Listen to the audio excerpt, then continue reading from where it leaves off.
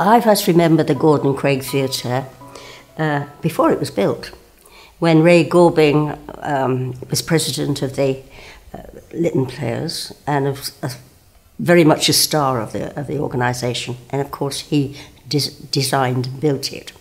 Well, I think I remember the Gordon Craig first of all as a building in progress. Ray's Orange Box was in the process of being built when I came into Stevenage, I assume, because I've been here since 1973. There was a lot of change going on in the town at that time, and amongst those major changes was the building of the leisure centre with the Gordon Craig Theatre in it. When I joined the Lytton Players, it was just before the theatre opened, so I had never done any performances anywhere else apart from music hall the previous year because I'd only just joined. I hadn't been a member of hugely long standing. Um, a friend of mine was a member and I joined because she thought it would be a good idea to get me out of the house. It was a huge difference coming to the Gordon Craig. Previously, the Lyttons had either done little in house productions or mainly performed on the old college stage, um, just off the back of the Six Hills there. And um, the Gordon Craig was so much bigger. It was all very exciting because we saw saw it growing and um, were absolutely thrilled to bits to be the first people performing in there. We were so excited about the theatre, you know. Uh, we watched it grow and all the time anticipating that we were going to sing in that theatre. We were going to perform and we were going to perform to a larger audience than usual, you see.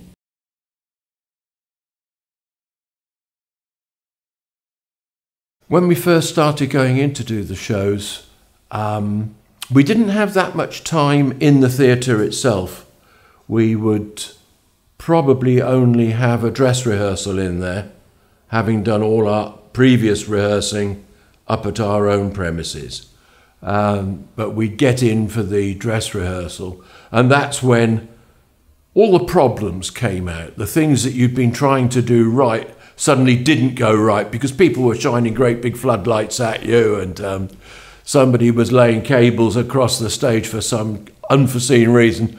And um, we had some fairly fraught dress rehearsals, I think it's fair to say. Gosh, it's the Gordon Craig. It was a it was a proper theatre. It had it had an orchestra pit, it had big backstage, scenery dock, workshops, green room. You know, it was wasn't just like doing music hall at the college where you sort of hunched up anywhere you could and changed in the changing rooms for the gym or something. It was a proper proper theatre. Very spacious. And of course, the auditorium was the envy of the whole country, I think, because Ray, having been quite tall himself, designed the building with a lot of legroom in the rows. And of course, they still exist today. And that, that is one of his legacies.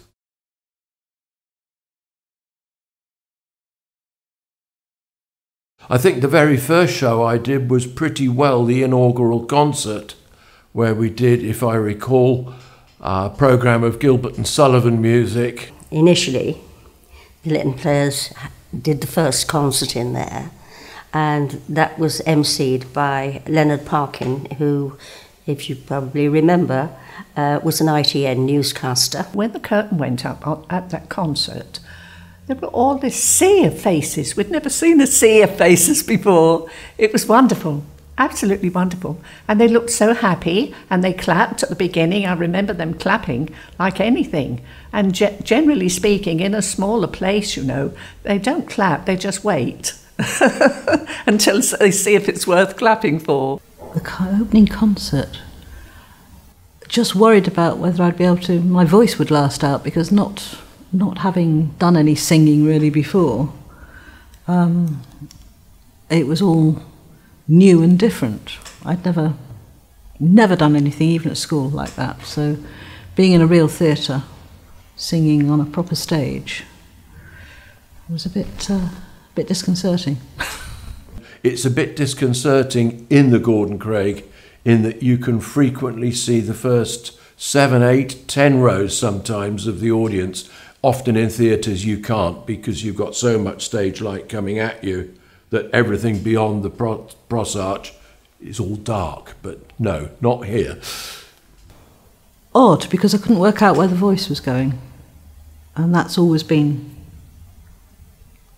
something that I've noticed there. You, you open your mouth and you sing, and you're not sure where it's gone. So um, you're not quite sure how much welly to give it. But I thought this was quite good. I could, wouldn't mind trying this again. I think we were anxious not to let the theatre down. That's a strange thing to think, isn't it? But somehow or other, the theatre was dominant because of its size, but also because of its advantages, of course. Wonderful things in the theatre that you don't get in a village hall or in, in a hut. Uh, but um, we were anxious to do it justice. I think that was the predominant thing. We were anxious to get it right. For Ray, whom we were all so fond of, and for the fact that Stevenage had a theatre. But it's just the sheer luxury of having um, comfortable places to to sit and get changed um, instead of in corridors the, or behind a screen somewhere with the fellas on the other side. And um, it was it was just lovely. It was like sort of feeding one's uh, dreams, childish dreams, of actually being a professional. on that night, we all uh, signed our names on the ceiling. Thought it was such a theatrical thing to do. Oh, it was lovely. We were so sorry, you know, there wasn't, after many years, uh, the ceiling had to be painted over, and a lot more people had the pleasure of signing their names on the ceiling. But we had such fun. We had rehearsed and rehearsed, and moving into the Gordon Craig was just the acme of our desires.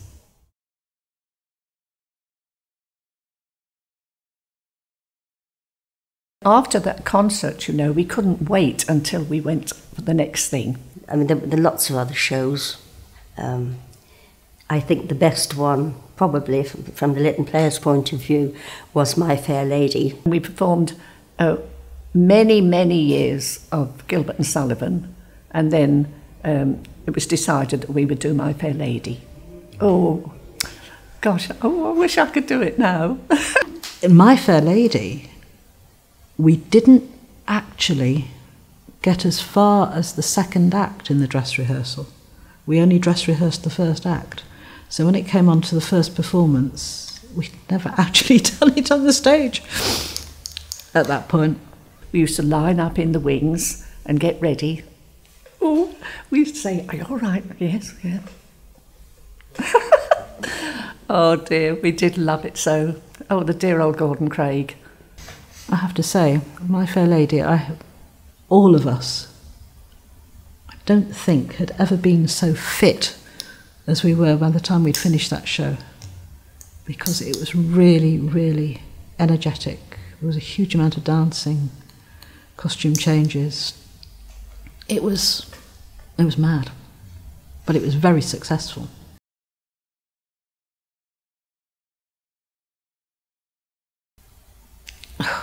There was Pirates of Penzance it was the first thing I ever sang a leading part in, and I was terrified. And I stood in the wings waiting for the cue, and I stepped back because I thought I can't do this and came up against a whole load of immovable objects behind me, which was the gentleman's chorus, who said words to the effect of, If you don't go on, we'll throw you on. Um, and I went on and I did it. And my dad was in the audience, and he came round afterwards to the green room, and he stood there, all pink in the face and beaming, and he said, I didn't know you could sing. In those days, we had trapdoors all over the Gordon Craig stage. I think there were possibly 15 of them, but they were rows and so on, and we were using those for the policemen. And the policeman disappeared down the steps into the understage and up the steps at the other side. It was a very amusing um, scene in itself, but the smallest policeman of the lot, somehow every performance managed coming up out of the understage to knock his helmet off coming up through the hole. So, of course, everything ground to a halt while he scrabbled around going back down the stairs to find his helmet. It was always something like that. There was a, a revolver, a gun, hidden behind the scenery.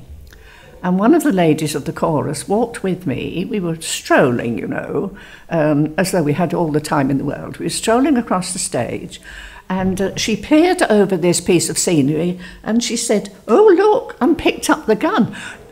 Put it down, I said, put it down. You mustn't see it. The audience is uh, it's hidden. The audience mustn't see it. Oh. So somebody was using the quick change room, which was one of the rooms at the back corridor behind the stage.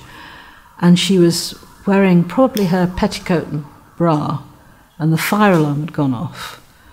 And a fireman came loping along the corridor, and he went past the changing room. She had the door open, and you saw him stop, and he sort of backpedaled like something out of a cartoon film, and he went, Here, miss, can I rescue you? where we had to climb up the steps, we climbed onto a platform. Now, at the end of the show, utter blackness when the lights went down, I was on the platform. I was so taken aback by the lights going down, black as black could be. I fell. I fell about six feet, I think. And there was uproar. Was I injured? Well, I wasn't injured, but my pride was hurt, I'll tell you. As I was sharing a dressing room with a woman who was singing The Fairy Queen in Iolanthe, and at the technical rehearsal, she was called down to the stage before we started. And she came back looking quite shaken. And I said, What's the matter? And she said, She held up this sort of set of straps and canvas and said, They're going to fly me on. And she didn't know anything about it until then. so she was somewhat taken aback by that. I directed a play here once. It was part of Stevenage Festival one year and it was one of the series of Farndale Avenue farces called Chase Me Up Farndale Avenue, s'il vous plaît, um, which I, I was pleased to be able to direct because it's the only time I've actually directed on a professional stage. Um, it was fraught with all sorts of business that could potentially have gone completely wrong, wrong, ruining the performance. We only did two nights because that was the amount of time the festival could give us and um, they both went superbly well. And after the final curtain on the second night, I disappeared. The cast were running around trying to find me.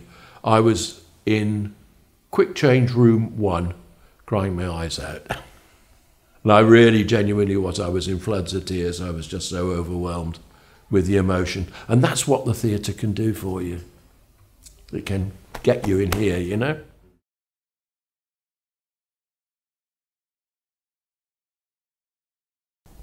Stage manager had a beard, and I can't remember his name, but he was ever so strict with us.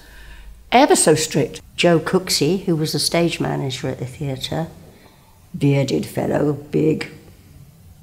If we weren't in the right place at the right time, we knew all about it, you know. We really did. Very much in charge of everybody. They certainly got told off if you stepped out of line. The Gordon Craig crew, of course, had their own little little room at the back of stage where they could brew up and eat pasties and so on. We were confined to the green room, and heaven help us if we encroached on their little territory. Still see now Mike Steele, Ray Gorbing,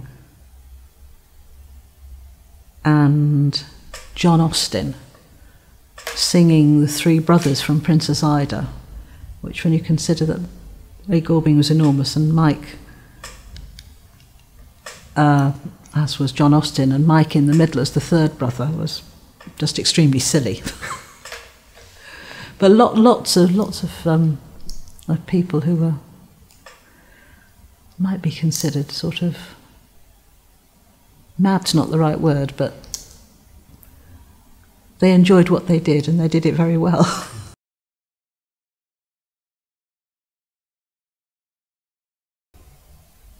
the friendship's still there, and it's always, oh, do you remember? Okay, and so it goes on, and all the old stories come out. Oh, it became such a part of our lives. Such a part of our lives. We used to race up the stairs to our dress. Oh, I couldn't do it now.